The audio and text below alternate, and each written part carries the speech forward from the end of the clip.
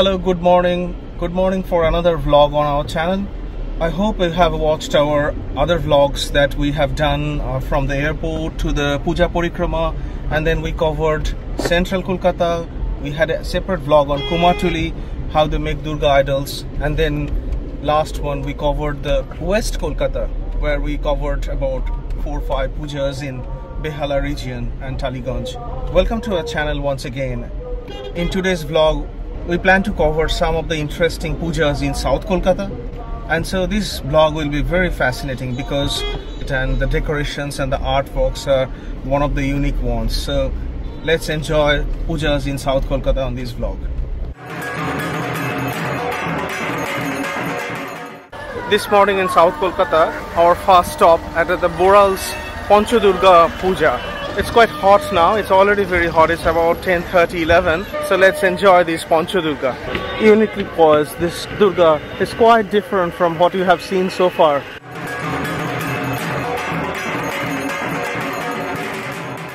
In this puja, we have five different forms of Durga. So we have five different uh, idols of the same Durga goddess. So let's go through one by one. The first one is Devi Vaishnavi. This is Devi Vaishnavi, the blue one. And then the next one is written Devi Narosinghi. Devi Narosinghi. And then we have the main Durga, the Durga Pratima that we worship in each and every Durga Puja Mandap.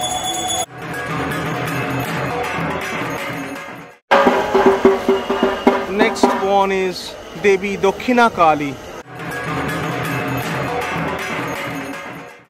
This one is Dokshina Kali. And the final one is Devi Maheshwari. This one is Devi Maheshwari. So here we go. We have five different Durga Pratimas in one place. and they have a very big canopy it's a transparent one and it's quite modern looking structure this is an extraordinary puja mandap the most important thing here is the devi durga's idol as i have explained we have five different durga pratima in one place five different forms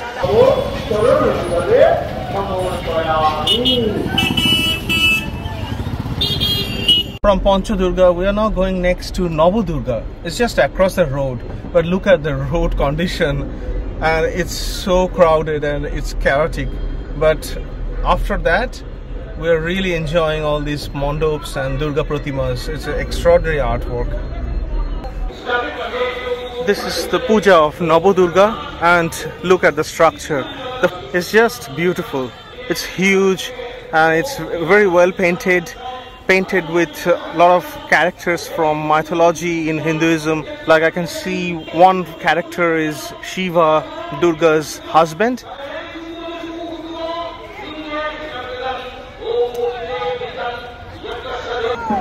At the moment it is scorching hot. It's like midday and everything is burning. I'm feeling a burning sensation. We have got high humidity as well so it's sweating. So by the way I wanted to show you this t-shirt that I bought yesterday if you have watched our vlog in West Kolkata Pujas, if you have seen the video until the end, you must have seen that we bought a t-shirt from one of the hawkers uh, store at the puja of Shiv Mandir and this is a very traditional painting.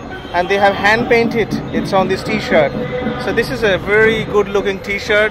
And this t-shirt looks stunning.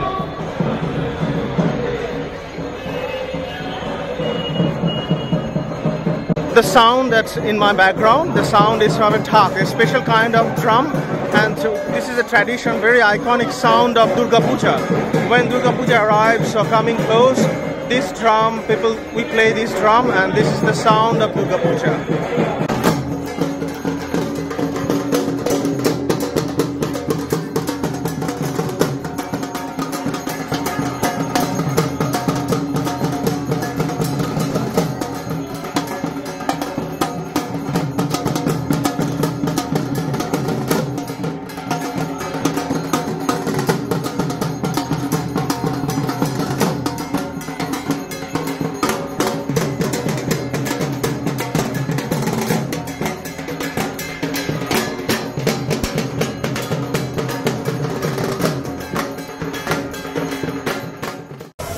Now we are at Naktala Udayan Sangha and that's our third puja of the South Calcutta tour.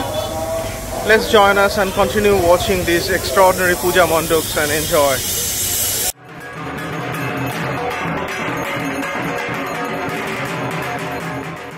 Look at the puja mandap in my background at Naktala Udayan Sangha. I was reading some of the description about the theme. As far as I can understand, that these are like construction, like house construction of the refugees who came after partition to this side of in border after Indian independence partition. This side of the border, they came without anything. They didn't have any house. They they built their house, their home with anything they could find and that's actually the history behind this region this particular locality. And the puja mandap is respecting that reminding us how they developed this locality forming houses building houses from any materials possible. So the puja mandap is built with any material possible anything that you can find. So they use that to form this artwork look at this map. This is actually a very old time map of this area. The government used to give a kata and you need to measure some piece of land and they used to give this piece of land to these refugees so that they can stay there they can build their house any way possible. And uh, that's the way this Naktala uh, region developed with hard work by these all refugees. And the puja mandap is based on that theme and now let's walk through the puja mandap. I think it will be fascinating. It's just so unique. Look at these structures. They constructed this with like welded uh, pipes but obviously that could have been the original story as well. Construct a house using building materials is expensive. So those refugees i think they used completely different materials anything they could find. See these are the addresses of those houses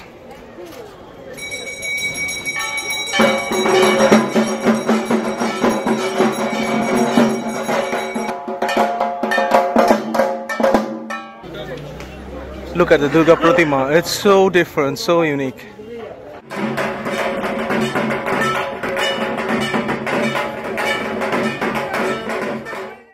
And the priesthood performing Durga Puja. Look at the ceiling of this Puja Mandap. They use the original ceiling kind of material like the asbestos and pieces of tins. Anything you could find, you put it on the roof and that's exactly how these refugees houses were built. And today's puja mandap is just replicating those ideas so many years ago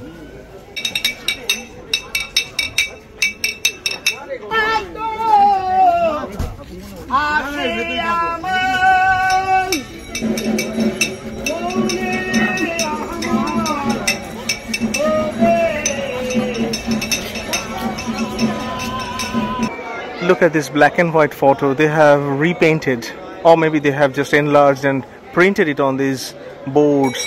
And this is a very old photo. I think one of the refugee families one of them one of the many who built who lived here who came here and developed these houses or built their own houses from any material possible. This is the image they used to decorate this durga pandal.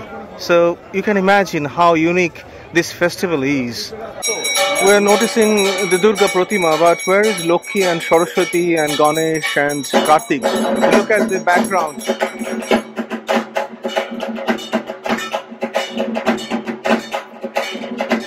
They're almost like miniatures, but these are her children sitting behind.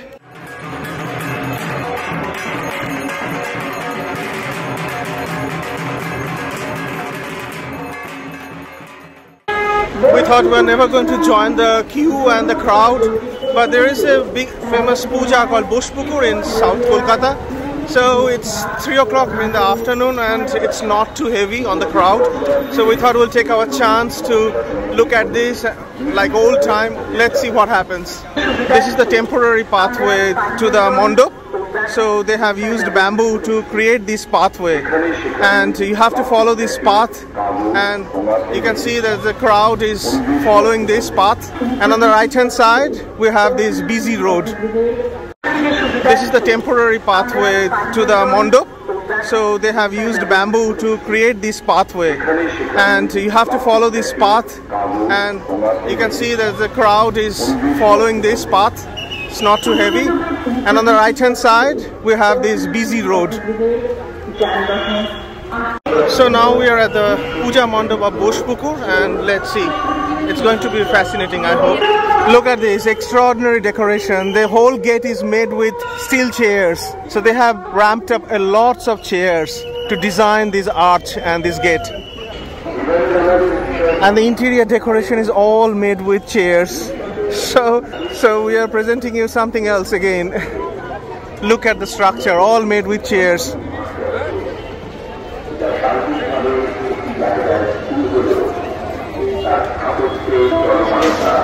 These chairs are moving around. So there is a pulley system. These chairs are moving. Can you see that?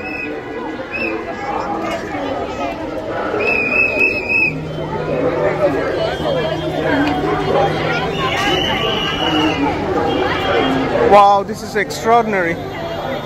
So you can see that our puja mandaps are so uniquely designed and they vary every year. So they never repeat anything. And the whole structure, the whole puja mandap is made with chairs. And this is the entrance. So I'm, I'm sure there will be more surprises in this scenario. Look at the structure. It's already getting very crowded at 3 o'clock.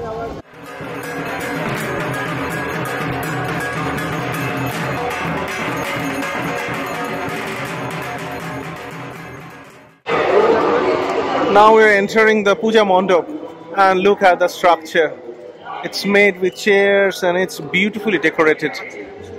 Can you believe that the just ordinary sitting chairs, very cheap chairs can be used such an unique, very innovative way to create this whole architecture and obviously Durga Pratima is sitting one side and beautifully decorated once again.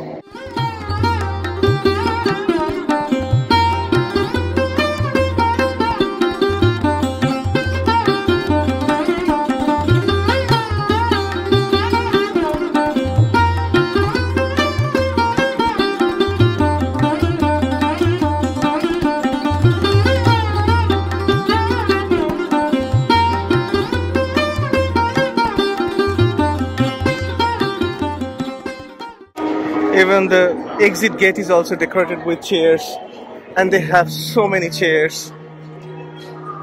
So look at the structure once again, last time.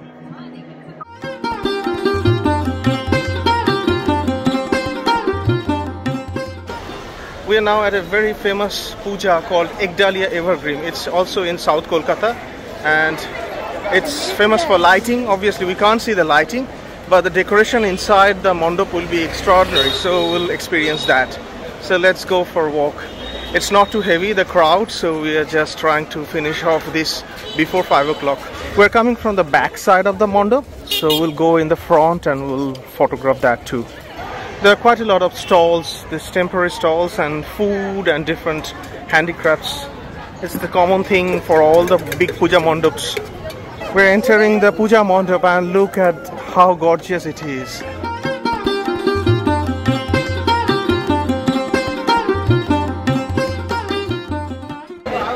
Oh, it's gorgeous. It's golden. It's like molded with gold.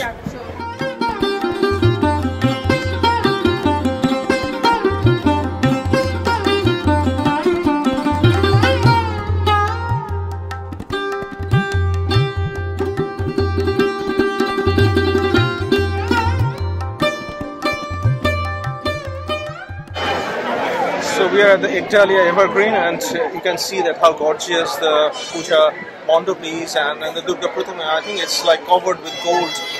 Looks like it's so gorgeous, so pretty.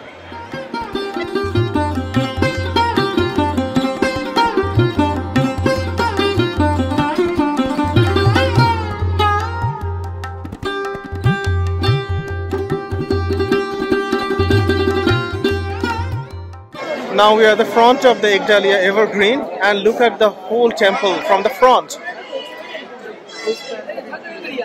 Look at this artwork, it's just extraordinary. I think it's like a temple that created a replica of a Hindu temple and it's so pretty, so ornamented. We have shown you the inside, the Durga Pratima and the interior decoration and this is the front side. How pretty, how extraordinarily beautiful this is, amazing. And look at the people, the amount of people that are entering.